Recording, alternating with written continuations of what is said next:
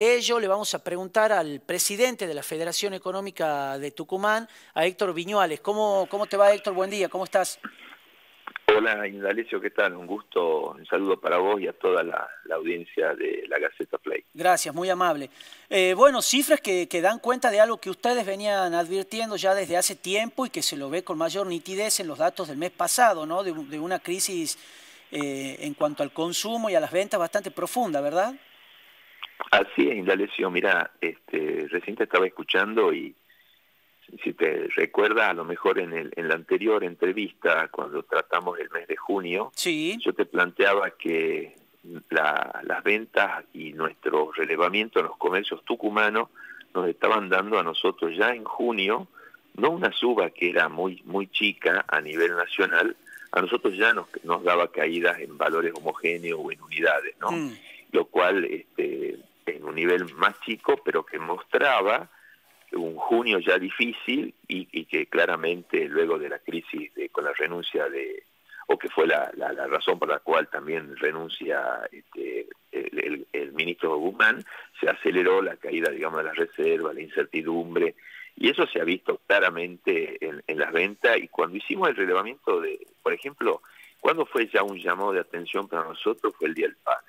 Del mm. Padre nosotros teníamos ventas que acompañaban con la inflación, pero que en unidades eh, habían, habían este, se habían disminuido, ¿no? Por ejemplo, indumentaria, que ahí este, entiendo que está en el orden del 12%, sí, así pero haberte visto un cuadro. Sí, casi un 13, sí. Eh, sí, casi un 13. Este, en el caso indumentaria, yo me acuerdo que cuando íbamos a, a las empresas más, más representativas de Tucumán, te planteaban lo que había subido, el rubro que más había subido en inflación era indumentaria, mm. eh, o de los que más había subido, y por lo tanto las ventas parecían que habían acompañado a la inflación, pero en prendas había bajado, o sea, la gente había comprado menos prendas. Finalmente a nosotros lo que nos interesa es que la gente tenga más acceso a las unidades, ¿no es cierto? Y, eso eso ya, ya no estaba pasando.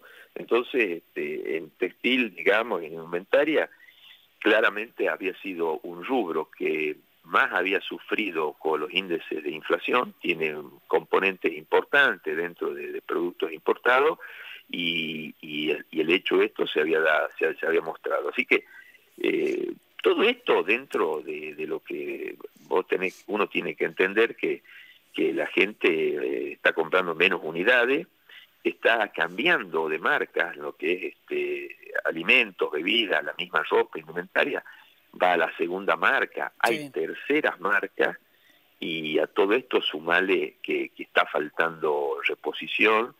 Hemos tenido un mes de, julio que en muchos rubros, sobre todo en la industria, en algunos comercios, este, que no se, pero sobre todo en la industria, no se ha trabajado con precio, ¿no? No se ha trabajado con precio en muchos casos diciendo, bueno, para que no pares la, la, producción, te mando, pero yo no tengo precio, te mando lo que tengo, ya este, Buenos Aires no, no me han dado precio, después te daré el precio, o sea, se hasta, hasta fabricando sin precio y todo eso se ha ido generando este un, cuadro de, de, angustia y un cuadro muy, muy difícil que de alguna manera eh, el índice que vos estás planteando de, que lo ha hecho la, Confederación de CAME, que este, socia, nosotros estamos asociados a dos instituciones, claro. como Federación Económica, las dos grandes de, la Argentina, que es CAME y CAC, y CAME este, toma esto de más o menos 1.100 comercios, algo más de 1.000 comercios, de los cuales Tucumán son 40 más o menos, 40, 45.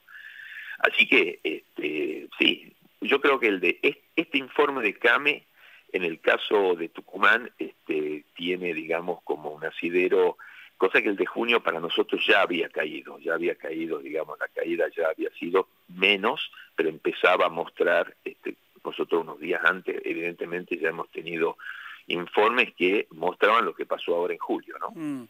Ahora, mm, se lo, te lo preguntaba también en otras entrevistas, eh, cuando se hace, está bien, los, empresarios, los comerciantes, los argentinos en general estamos acostumbrados a crisis, a momentos como esto y a bancar, digamos, nuestra actividad en medio de tantas turbulencias, pero ahora de repente se viene haciendo bastante extenso en el tiempo esta, esta situación de eh, recesión, inflación, faltante de productos. ¿Cómo, ¿Cómo está impactando eso en la continuidad de, muchos comercios, de pymes que, por ahí ya quizás tiraron la toalla, o, o, cómo viene la mano, o cómo la siguen aguantando, digamos.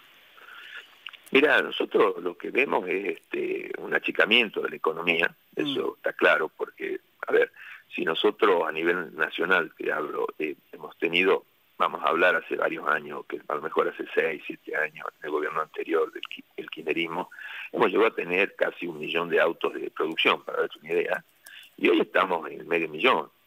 Y eso te marca, te marca, hay, hay temas que, que para nosotros son clave de ver, lo que tiene que ver con la industria metalúrgica, que tiene que ver con, con la automotriz, que tiene que ver con hilandería, con textiles, y cuando uno ve este, los niveles de, actividad que han bajado, este, realmente nos preocupa. Ahora, ¿qué es lo que nosotros vemos? Todavía tenemos actividad, este, pero a la gente cada vez le cuesta menos, le cuesta mucho más, perdón, este, llegar a fin de mes y, este proceso inflacionario, claramente el gobierno que ha subido ahora, el, el, ministro de Economía, tiene que trabajar fuertemente en una serie de, medidas para bajar la inflación. Cada punto que, sube son miles de personas que entran a nivel de pobreza y con pobreza no podemos tener crecimiento, ¿no es mm. cierto?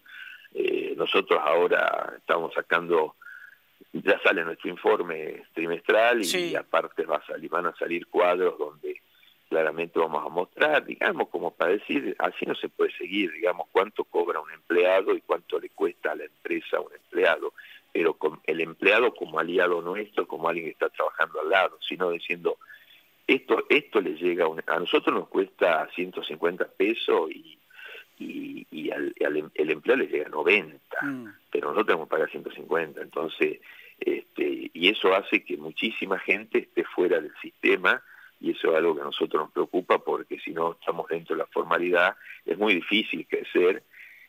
La economía tiene, eh, para, para poder crecer necesita de la institucionalidad y eso tiene que ver con la formalidad, tiene que ver con la legalidad, si no todo, todo es este, muy efímero y, tiene bases muy, muy cortas. No hay, no hay países que hayan crecido si no tienen una gran institucionalidad y formalidad dentro de sus actividades. ¿no?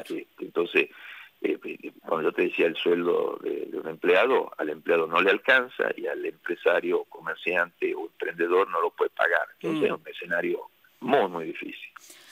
Bueno, lo, esperamos entonces cuando salga el informe, si charlamos con mayor amplitud, eh, Viñuales, ¿eh? Sí, sí. importante informe de la, de la Federación Económica. Muy amable, gracias. Sí, son más de 80 hojas, así que se están puliendo, controlando, así que desde ya van a, estar, van a tener el acceso y, y lo, lo charlaremos porque ahí salen muchas de las problemáticas que tenemos nosotros como provincia y como región. ¿no? Claro, sí, sí, totalmente. Gracias Viñuales, muy amable como siempre. No, ¿eh? por favor, Inés, que estén muy bien. que esté bien, hasta luego. Hablamos con Héctor Viñuales, el presidente de la Federación Económica de Tucumán.